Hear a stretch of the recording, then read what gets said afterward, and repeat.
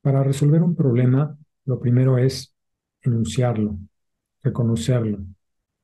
En torno a la pregunta, ¿qué debilidades tiene el sistema de educación en artes visuales en el México contemporáneo? Me he encontrado con una gran resistencia para responderlo, para decirlo, para enunciarlo. Hoy en Voces tengo el enorme gusto de tener como invitados a tres artistas, tres maestros que sí han querido compartirnos su reflexión y experiencia en torno a esta pregunta. Bienvenidos y muchas gracias.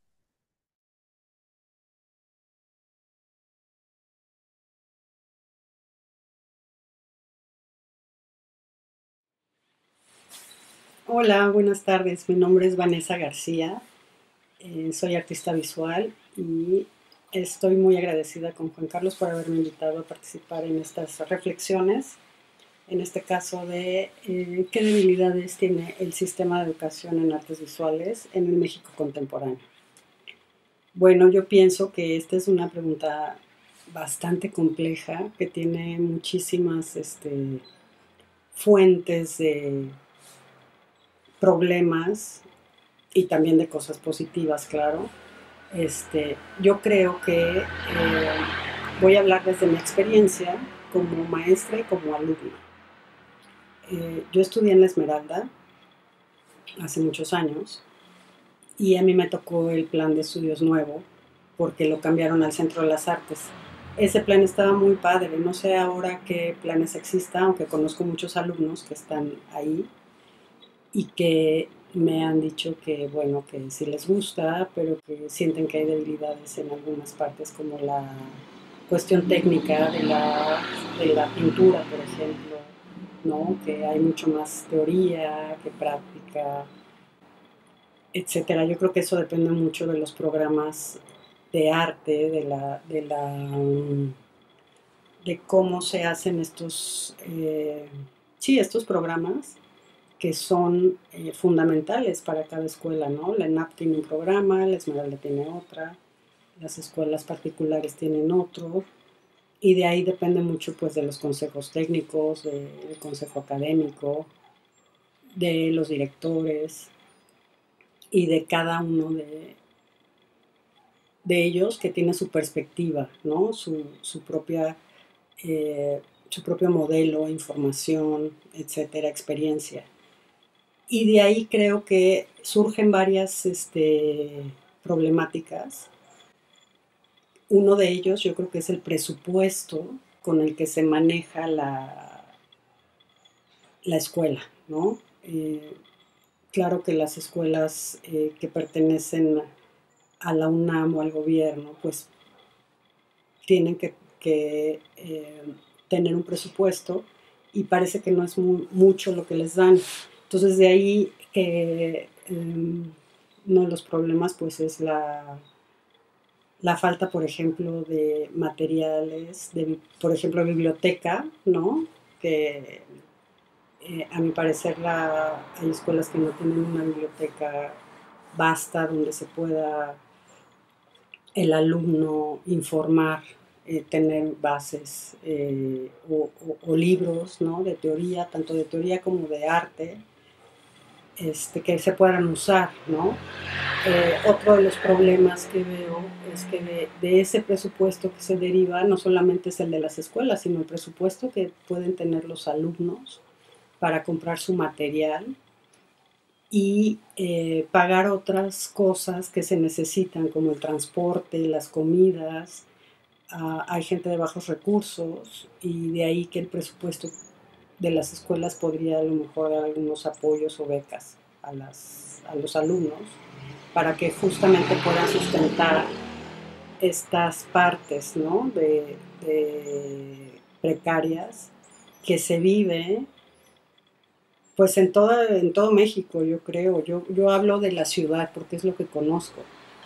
También he, ido al, a provincia a dar cursos, talleres, a, las escuelas, a diferentes lugares, y se nota una gran diferencia entre las escuelas, entre lo que producen los alumnos, se nota si hay alguna escuela que exista en ese lugar, una escuela de arte, ¿no? Y, si no hay, pues también se nota muchísimo cuando los alumnos no tienen esta información, esta información de,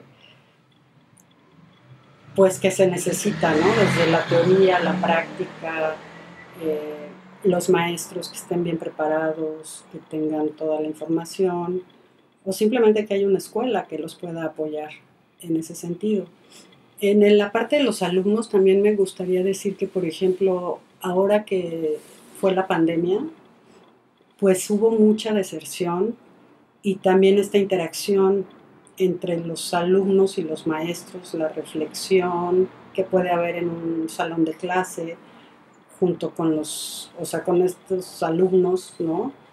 Estar todos juntos y participar y tener estas pláticas, eh, las clases, ¿no? De, dibujo, de pintura, que pues eh, se hacían en solitario y que creo que eso afectó mucho a la parte tanto de los alumnos como de los maestros. Eh, creo que se perdió ahí mucho y también pues sí hubo esta parte de deserción donde los alumnos tuvieron que, que verlo de eh, tanto que tanto les dejaba estar en la escuela o no, o dedicarse a otras cosas justamente por la el problema económico de las familias ¿no? El problema de enfermedades, el problema de sustentar eh, sus gastos. Y creo que eso también creó una cierta, cierto estrés eh, en, los alumnos, ¿no? Esta generación creo que tiene como más sensibilidad a muchas cosas que, que generaciones anteriores no tenían y que eso hace que la parte de, rendimiento pues tenga menos pues menos efecto yo creo ahora em, también por ejemplo creo que los alumnos cuando salen de las escuelas no tienen esta preparación con el mundo real, digamos, con, lo que se tienen que enfrentar en, el, en, su, trabajo, ¿no? Eh, esta relación que, o vínculo que, tienen que crear con los museos, las galerías, este, promocionarse, darse a conocer, creo que también em, es una parte en la educación que se podría dar en las escuelas para, poner, para poder tener esta interacción ¿no? con el mundo real, porque luego uno sale de la escuela y no tiene idea qué hacer y cómo hacerlo. Y puede ser que eh, sea interesante que las escuelas lo tengan como para darle continuidad ¿no? a la parte ya real de, pues de venta, de exposiciones, de, a lo que se dedique alguien, porque también mucha gente que sale de la escuela no se dedica a, pintar o a hacer fotografía o lo que, digamos, al trabajo eh, creativo, sino se dedica a la parte pues de museos, de estar eh, en curaduría, o sea, en cuestiones mucho más eh, que no tienen que ver con la creatividad en el sentido, en el sentido práctico, sino que es más como muchos se dedican a trabajar en, museos o galerías, dar talleres, en instituciones y, un trabajo mucho más, digamos, político, ¿no? En ese sentido, o ser directores de alguna escuela o van así escalando para, en otro sentido, tampoco existe esa parte que de la escuela sino que se, se, enfoca únicamente a dar la parte de teórica práctica, ¿no? Pero sin que haya este vínculo con el exterior. Eso creo que sería importante. Y también aquí me viene a la cabeza mucho la parte de, por ejemplo, la titulación. Eh, mucha gente no se titula justamente porque se va de las escuelas, porque eh, la carrera es cara y justamente por eso también o porque no les interesó la escuela o por muchas cosas. Eh, hay mucha deserción y, eh, y, en la titulación ya cuando uno llega al final también hay mucha gente que no se titula. Por ejemplo, en mi caso yo me titulé apenas hace unos años porque por cuestiones personales no me pude titular, aunque ya había terminado todos mis créditos y empecé a dar clases justo cuando terminé la escuela, me invitaron a dar clases en la Esmeralda, entonces no tenía yo el tiempo para hacer una tesis, para titularme y después hicieron un programa ahí en el Centro de las Artes que se llamó Programa de Apoyo a la Titulación y fue cuando yo me, pude titular por trayectoria. Eh, todas estas este, programas que hacen son muy buenos porque puedes titularte después y ya de hecho yo ya eh, acabo de terminar la maestría en UNAM porque justo me titulé de la licenciatura, entonces me metí a la maestría. Pero mucha gente ya no se titula porque no tiene muchas opciones de titulación. Entonces creo que también es un, un, problema de, de, las artes visuales y de la educación, ¿no? que no hay una continuidad, porque ahora para que tú puedas dar clases o entrar a una institución te piden un título y muchos no lo tienen. Aunque tengan la experiencia, ¿no? O sea, aunque sean muy buenos artistas, no, no tienen el título y no los contratan y ahora también pues con maestría es mucho mejor o con doctorado. Entonces creo que también ese es un problema. Eh, que existe, ¿no? Y que, y que creo que se debería de implementar programas para que la titulación sea mucho más fácil o mucho más, no sé cómo decirlo, dinámica o eh, que se pueda hacer en la misma escuela antes de salir. Eh, y creo que eso genera como mucha genera una parte en los alumnos, bueno, en la gente que ya sale, de luego sustentar, ¿no? Porque, bueno, sí existen becas y apoyos para jóvenes, concursos, eh, para adultos también, pero pues no todos tienen acceso a eso. Entonces, eh, mucha gente trabaja siendo maestro este, o en otros lugares, ¿no? Haciendo otras cosas y a veces es mejor tener como el título para poder hacerlo. Eh, yo creo que es una, es una pregunta que da para mucho, para reflexionar mucho sobre lo que la educación en las artes visuales en México, en el México contemporáneo, y que claro que depende mucho del factor humano, de cómo estas... Eh, personas que se encuentran en las escuelas, que son las que dirigen, las que hacen los programas, los comités, tengan esta sensibilidad de, eh, de ver cómo se hace. Yo creo que eh, entre teóricos y artistas se puede generar algo muy interesante y las escuelas lo tienen, claro que lo tienen, aunque son diferentes, unas se enfocan más en, en la parte teórica, otras en la parte práctica eh, pero creo que siempre se puede mejorar ese aspecto de los de las este, de las escuelas, ¿no? Eh, ahora yo creo que las escuelas que son privadas o las universidades privadas que dan artes visuales también pueden este pues generar esta parte de interacción entre escuelas, eh, cómo se vinculan, ¿no? También entre escuelas, cómo se pueden este, generar proyectos, cómo se pueden generar, no sé, muchas cosas. Eh, sí me parece que, em, que el alumno puede tener muchísimas más opciones eh, cuando el trabajo de los maestros y de los eh, de la gente que está dirigiendo las escuelas es mucho más sensible a esa parte o ha, visto y ha vivido esta parte, ¿no? Entonces sí creo que es importante eh, este tema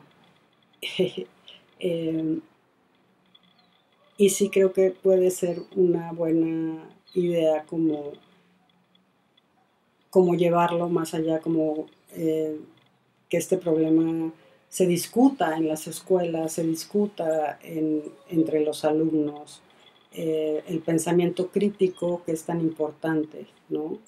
Eh, no solo en base a, a, lo que uno hace como artista, sino también en base a lo que uno está recibiendo en las escuelas, aunque hay mucha información en internet, a veces eh, no, no, se sabe cómo usarla, a pesar de que existe toda esa información, eh, no hay como los filtros necesarios para que los alumnos puedan acceder de manera, digamos, eh, más funcional o más, mm, que tengan más un impacto en su, en su trabajo, ¿no? O sea, a pesar de que hay mucha información, esa información no sirve para nada, sino realmente hay que saber qué es lo que se busca. Entonces, eh, pues sí, me parece que esto puede ser un tema muy, muy largo, porque son muchos aspectos, pero bueno, gracias por dejarme opinar acerca de esto y gracias a Juan Carlos. Gracias. Hola, en esta ocasión vamos a tratar las debilidades de la educación de las artes visuales en México. Es un tema muy interesante porque la iniciativa de Juan Carlos del Valle, que ha estado haciendo una serie eh, larga de cápsulas relacionadas no solo con la educación, sino con otros tópicos de las artes visuales. En esta ocasión nos ha pedido a tres eh, participantes que podamos sacar adelante este proyecto de la educación de las artes visuales en México.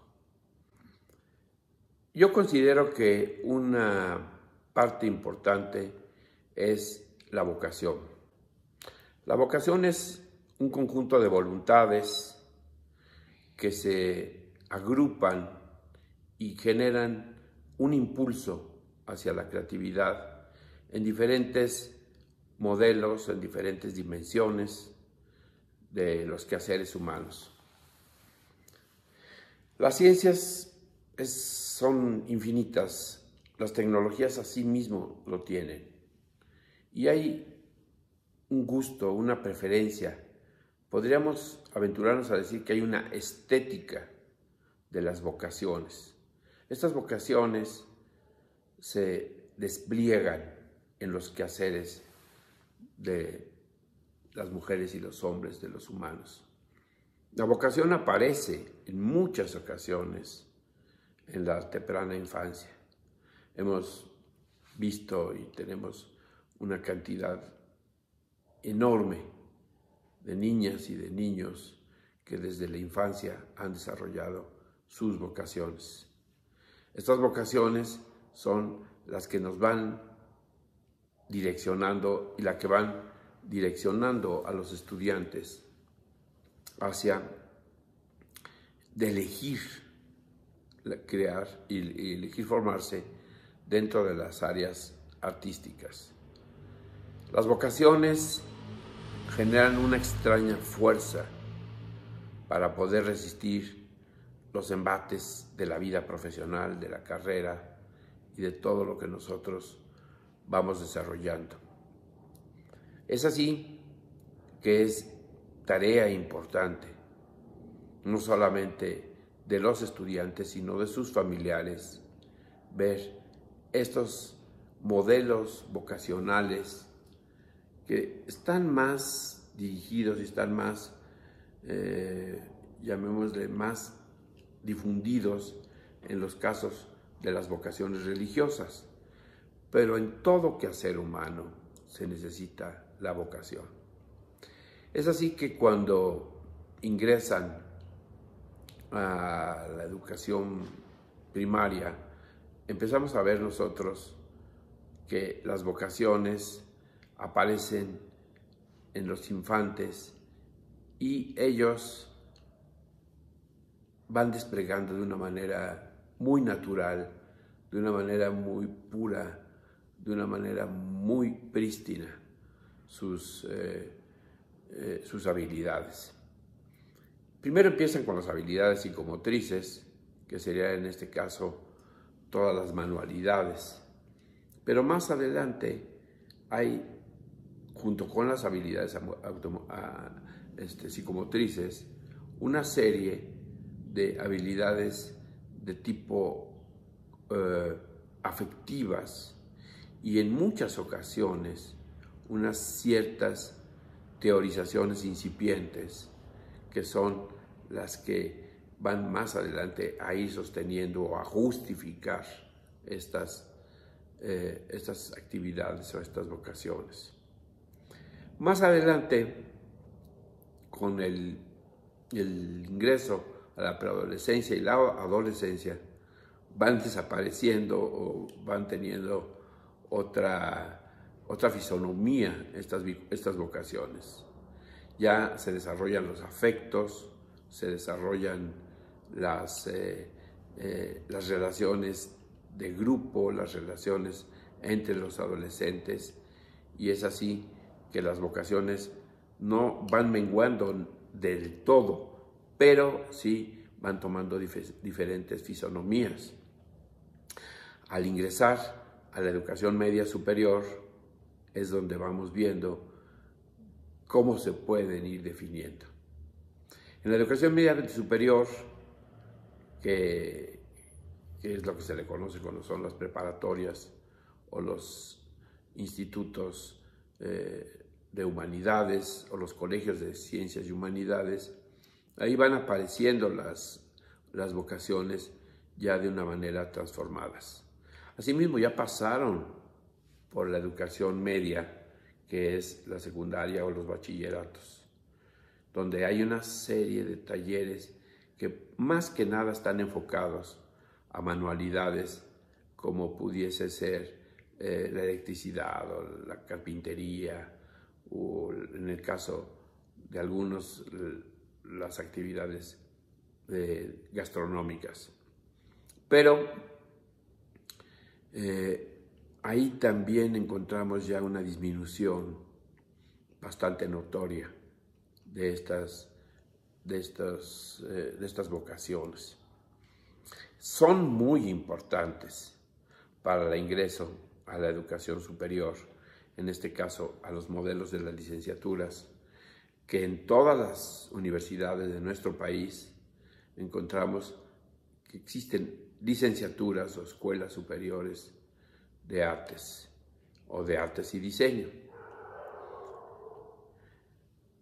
Es muy importante que haya una reconsideración o una recapitulación de las capacidades vocacionales al ingresar a, a las escuelas de arte. Porque hay ciertos malentendidos en donde se ingresa por que no existen las matemáticas o no existen las ciencias exactas o porque se piensa que son actividades que no se requieren de una cierta estabilidad económica que permita, pues de alguna manera, el inicio de las actividades y pues desafortunadamente son una serie de materiales bastante caros.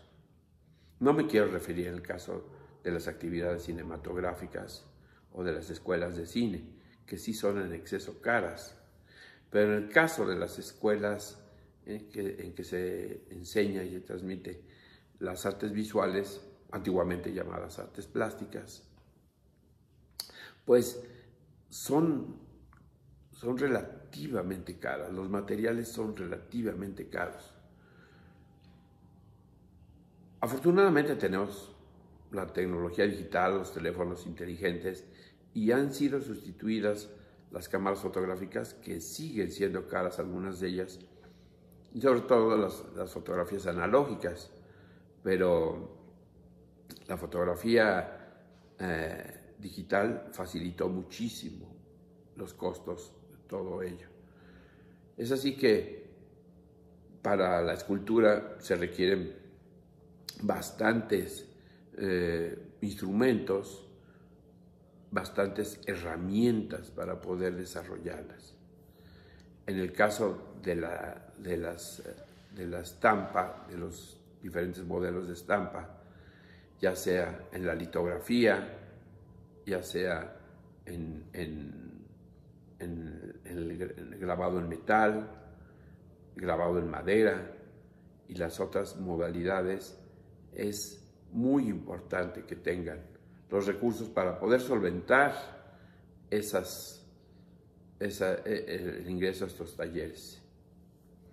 Asimismo, en el dibujo es un material, es una serie de materiales bastante económicos, bastante baratos. Sin embargo, es importante también que los trabajos que la gran mayoría están hechos sobre papel, pues tengan los estudiantes eh, tintas, eh, carbones, buenos papeles en la medida de lo que se pueda. En fin, es importante los recursos económicos para poder desarrollar los estudios en las artes visuales. Yo considero desde mi punto de vista y en otro, en otro, desde, otro, desde otro ángulo, que los espacios con los que cuentan las instituciones para dar eh, cauce a la enseñanza de las artes visuales, en su gran mayoría están bastante bien equipados. Sí tenemos muy buenos laboratorios de fotografía, hay muy buenos talleres de escultura, hay buenos talleres de pintura, hay buenos talleres de gráfica y esos, esos talleres, esas, esas áreas están bastante bien cubiertas. Y ya por último, sí me quisiera referir a las capacidades con las que los estudiantes llegan a, inscribirse en las escuelas de arte. Hay una tergiversación de pensar que porque el hecho de que no existen las matemáticas o no se requiere eh, mucha, eh, muchos conocimientos, se cree que es fácil ingresar aquí. Pues desafortunadamente no es así. Desafortunadamente sí se requiere que existan ciertas capacitaciones que surgen en el seno familiar, que surgen en, el grupo, que surgen con, la, con los compañeros, con los amigos. Es así, y regresando nuevamente a la educación media superior, que en las escuelas preparatorias o en los diferentes bachilleratos no se ha justipreciado la importancia de las formaciones artísticas, que ellos llaman actividades estéticas. Estas actividades estéticas son talleres bastante iniciáticos, bastante básicos y, no son del todo eh, complementantes de lo que se requiere para iniciar una carrera de artes visuales. Tenemos esa, ese reto de poder crear buenos artistas. Y pues muchas gracias, gracias a Juan Carlos del Valle para que este, este tipo de proyectos sigan siendo de un enorme auxilio y de una enorme ayuda para poder contribuir más al desarrollo de las artes visuales en México. Es a nosotros a quienes nos corresponde llevar adelante todo esto, ya que no existen apoyos de otra naturaleza para que se formen nuestros artistas. Un enorme gusto en saludarlos y espero que pronto nos volvamos a ver. Hola, agradezco este espacio para hablar de un tema que es verdaderamente circunstancial e importante en cuanto a la enseñanza de las artes visuales, la cual atraviesa un momento complejo, diría yo, difícil en el sentido de cómo ha cambiado la dinámica mundial en cuanto a los artistas visuales y a lo que pues compete en todo momento, en el sentido de que pues deben de atender muchísimos aspectos que no solo tienen que ver con la enseñanza, eh, sino que qué pasa después cuando un artista egresa de una universidad, por ejemplo en mi caso la Universidad Veracruzana, que tenemos un área académica de artes que es muy amplia, que tenemos danza, teatro, artes plásticas, YASUB, que es otro programa educativo. Eh, atendemos también talleres libres, que es una dinámica que atiende a la comunidad. Tenemos un centro de, eh, de música que atiende a los más pequeños, que son los, los niños de 7 a 12 años. Pero enfocándonos a las artes visuales, ¿qué pasa? Pues bueno, teníamos un escenario que ya se venía dando antes de la pandemia, que implicaba muchos retos para los estudiantes de artes visuales, que tiene que ver con que creo que nos hemos centrado mucho en la enseñanza de la teoría, de la semiótica, de las técnicas en las artes visuales. Pero ahora nos enfrentamos después de la pandemia a un escenario ciertamente complejo en el sentido de que estamos en un momento histórico donde hay tanta información, donde los artistas siempre han atendido, porque los artistas creo que siempre hemos sido transdisciplinarios en el sentido de que nuestros temas siempre hemos tomado en cuenta cuestiones históricas, eh, situaciones que se dan en diversos contextos históricos también, eh, la tecnología, las guerras, eh, momentos a lo mejor de grandes descubrimientos donde todos los artistas, sea artes visuales o sea música o danza, también teatro, han tomado en cuenta. Pero centrándonos mucho en las artes visuales, las artes visuales siempre se han alimentado de otras disciplinas y de las ciencias duras también. Sin embargo, en este momento creo que la enseñanza del arte debe de tomar en cuenta aspectos tan importantes como la violencia de género, la sustentabilidad, los momentos políticos que permean a cada país, porque pues las, problemáticas en cuanto a la enseñanza de las artes visuales no solo se dan en México, se dan a nivel global y hay otras universidades que están tomando mucho en cuenta esto. Desde mi punto de vista, un estudiante de artes visuales debe de leer mucho. Debería de haber una experiencia educativa, como lo llamamos aquí en la Universidad Veracruzana, que atienda las, noticias, los alumnos deberían de leer todos los días los periódicos, inclusive digitales, eh, físicos también, y tomar en cuenta qué sucede a nivel global, qué sucede a nivel regional, qué sucede a nivel de país como México, qué sucede en nuestro continente, porque hay dinámicas y hay situaciones que nos permean, que nos competen, que debemos atender como artistas porque el artista de alguna forma es, es, un ente que va absorbiendo una serie de información y que a través de su disciplina va traduciendo. Esa gran diversidad que, hay en las artes visuales en el sentido de que, por ejemplo, tenemos arte feminista, tenemos arte que está atendiendo las cuestiones del cambio climático. Tenemos artistas que están atendiendo la migración. En ese sentido, eh, creo yo que tenemos que, tener materias o experiencias educativas que no solo atiendan eh, las técnicas o la teoría que compete a esa disciplina. Debemos de tener materias que aborden la economía, que aborden los negocios, que aborden la historia, la historia que se está dando en este momento, que, que también visibilice los problemas climáticos, los problemas mundiales, pero que también podamos atender qué sucede, colaborar para que el alumno tenga herramientas para en su egreso decir qué va a hacer. Y esto tiene que ver con proyección de negocios, con cómo van a promocionar su obra. Creo que ahí nos está faltando abordar estas temáticas o estas áreas de oportunidad en el sentido de que un artista debe de saber hacer un presupuesto. Un artista debe saber cómo promociona su obra con estos nuevos ambientes virtuales que para nosotros creo que son muy de mucho beneficio.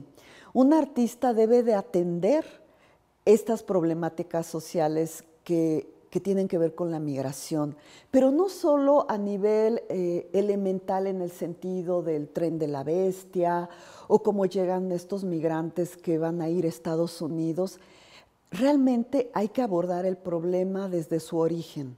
Es decir, si tenemos migrantes que están pasando por México, hay que estudiar bien qué está sucediendo en su país que los hace migrar. Entonces, ahí es donde es, estas experiencias educativas o estas materias que se deben de dar en los programas educativos de las artes visuales deben de atender. Un artista, entre más conocimiento tenga del problema que va a abordar, pues tendrá mejores herramientas para expresarlo. Un artista debe de leer todo el tiempo, debe de estarse capacitando en todo momento. Y un artista finalmente es el vehículo por el cual la sociedad se le presenta una propuesta, una propuesta visual, un lenguaje, una narrativa. Y entonces en ese sentido siempre tenemos que ampliar ese conocimiento para que nuestros egresados tengan eh, pues herramientas dinámicas por las cuales ellos puedan traducir su contexto. Ahora también tenemos otra problemática, que en la enseñanza de las artes visuales, los docentes nos enfrentamos a esta cuestión del acoso, que cada vez va siendo pues, más evidente, pero también yo creo que debemos de tener la capacidad, alumnos y maestros, de dialogar este aspecto ahora nos ha traído muchas problemáticas. Eh, sabemos que hay universidades en México que tienen paros, que no han, que no, que no se han resuelto, porque bueno, hay temas que no solo competen propiamente a las universidades, competen también a, a los gobiernos estatales y federales, que bueno, están rebasados en esta cuestión de la violencia pero que eso no quiere decir que podamos dialogar todos, todos estos ámbitos de, poder y de gobernación en los que pues debemos de atender la problemática. Eh, es ciertamente muy compleja, pero no nos podemos detener en la enseñanza por no atender una problemática que tenga que ver, por ejemplo, con la violencia de género. Entonces, eh, yo creo que Todas las universidades que tenemos programas educativos en artes visuales, debemos de reunirnos, debemos de dialogar para compartir las experiencias de lo que está funcionando y de lo que tenemos que atender, eh, atendiendo como otros aspectos que a lo mejor no estamos tomando en cuenta. Y obviamente también invitar a los alumnos, invitarlos en el sentido de que no son temas fáciles, no son temas que se van a resolver de un día para el otro y quizá no se resuelvan en un semestre. Eh, son dinámicas que además van creciendo y van tomando muchos matices en los cuales pues es un tema nuevo para nosotros, esta situación de la violencia de género.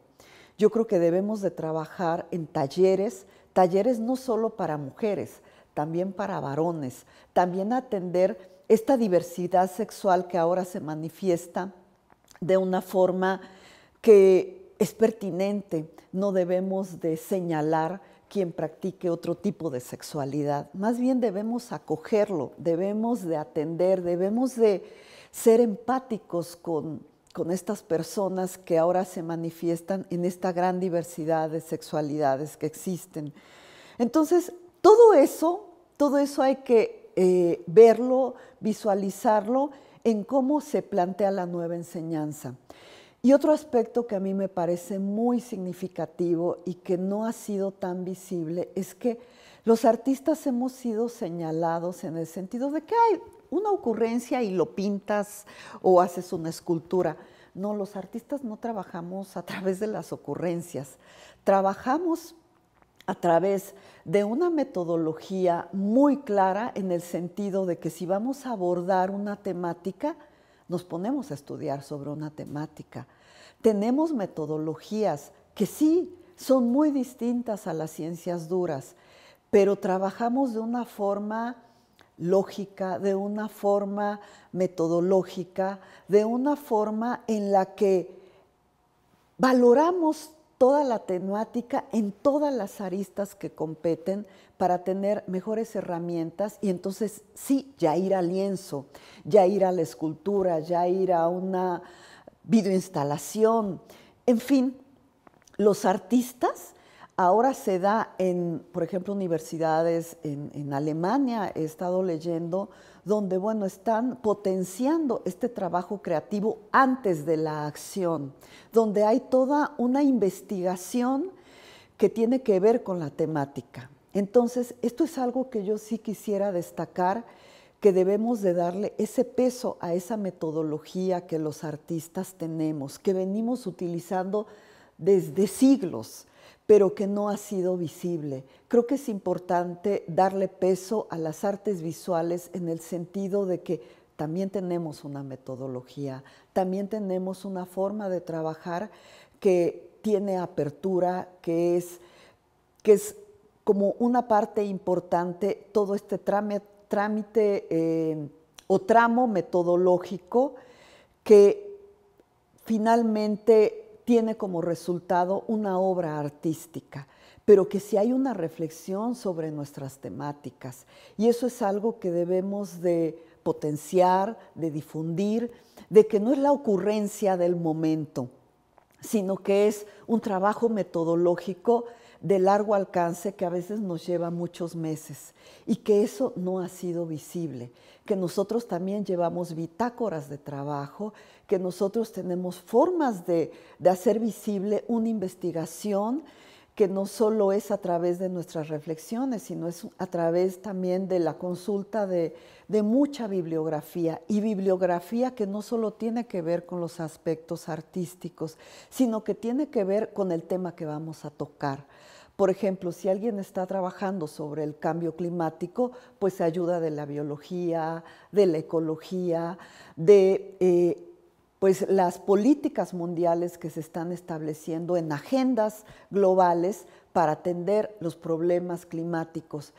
Todo eso un artista lo hace visible a través de su trabajo. Entonces, eso es lo que yo puedo decir en cuanto a, las enseñanza, a la enseñanza de las artes visuales y en las que debemos de tomar en cuenta todas las otras ciencias y todas las otras disciplinas para que el artista pueda tener un panorama global para traducir en su trabajo creativo.